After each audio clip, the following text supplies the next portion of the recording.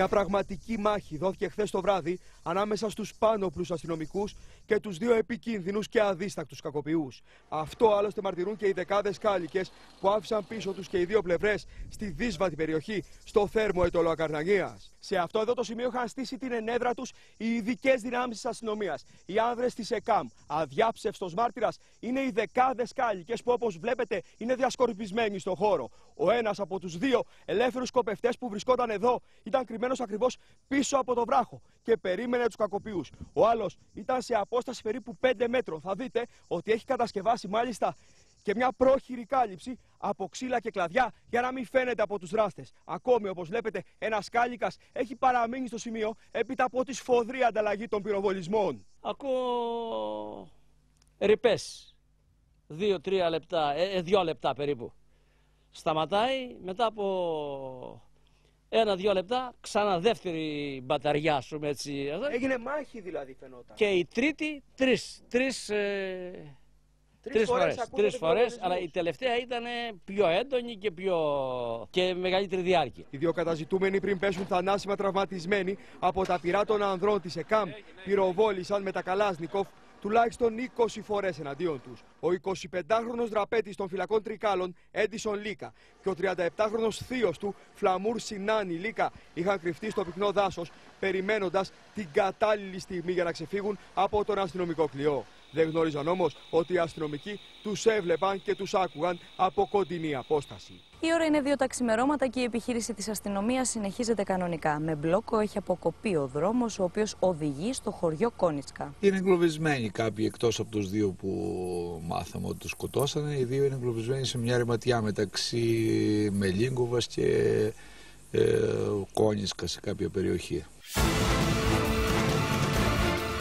Το σκηνικό της επιχείρησης στήθηκε έξω από το χωριό Κόνισκα. Εκεί οι χνηλάτες της αστυνομίας εντόπισαν τους δύο κακοποιούς τα ξημερώματα της Δευτέρας. Οι δύο άνδρες κρύβονταν μέσα στο πυκνό δάσος και περίμεναν την κατάλληλη στιγμή για να διαφύγουν. Το ίδιο περίμεναν και οι αστυνομικοί. Την κατάλληλη στιγμή για να επέμβουν. Λίγο πριν τις 10 το βράδυ, οι καταζητούμενοι άρχισαν να κινούνται προς το λόφο. Οι ακροβολισμένοι αστυνομικοί τους κάλεσαν να παραδοθούν. Τότε άρχισε ο καταιγισμός των πυρών. Οι δράστες με τα καλάσνικο στα χέρια πυροβολούσαν διαρκώς και ταυτόχρονα προσπαθούσαν να ξεφύγουν. Η ΕΚΑΜ τους είχε κυκλώσει. 15 λεπτά αργότερα οι δύο άνδρες είχαν πέσει νεκροί.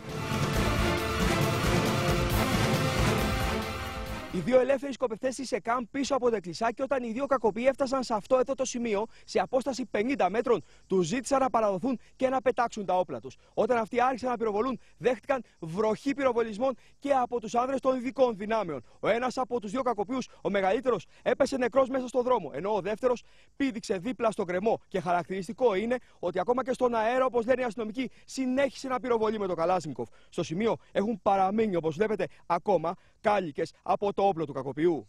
Οι κάτοικοι του χωριού Κόνισκα άκουγαν τις ρηπές των όπλων. Τις τελευταίες εβδομάδες οι κάτοικοι εδώ στην Κόνισκα, όπως μας λένε τα βράδια, κλειδαμπαρώνονται στα σπίτια τους και λαγοκοιμούνται. Μάλιστα, τις δύο τελευταίες ημέρες η πληροφορία ότι οι επικίνδυνοι δραπέντες κινούνται κοντά στο χωριό τους τους είχε ανησυχήσει ιδιαίτερα. Χθες, μάλιστα το βράδυ, όταν άκουσαν τους φοδρούς πυροβολισμούς, κατάλαβαν ότι οι κακοποιοί είχαν πέσει σε καρτέρι της αστυνομίας. Φοβάμαι πάρα πολύ. Καλά, κάθε βράδυ κλείνουμε τώρα τα, τις πόρτες, τα, τα παράθυρα τα κλείνουμε. Ο κόσμος ανησυχούσε μέχρι χθες, αλλά από χθε έπαψε πλέον να ανησυχεί, είναι πιο αισιόδοξο. Οι αστυνομικοί μόλις διασφάλισαν ότι οι κακοποιοί είχαν εξουδετερωθεί, τους πλησίασαν. Πάνω τους βρήκαν τα δύο καλάσνικοφ περασμένα στα χέρια τους, δύο πιστόλια, μια χειροβομβίδα και γεμιστήρες. Μέσα από μια επιχείρηση πάνω από 15 μέρες, οι Έλληνες αστυνομικοί μακριά από τα σπίτια τους συνεχίζουν να μάχονται για την προστασία της ζωής και της περιουσίας των Ελλήνων πολιτών. Ο 25χρονος Έντισον Λίκα που δίνωνε εργάτης είχε καταδικαστεί το 2008 σε κάθυρξη 7 ετών για κλοπές.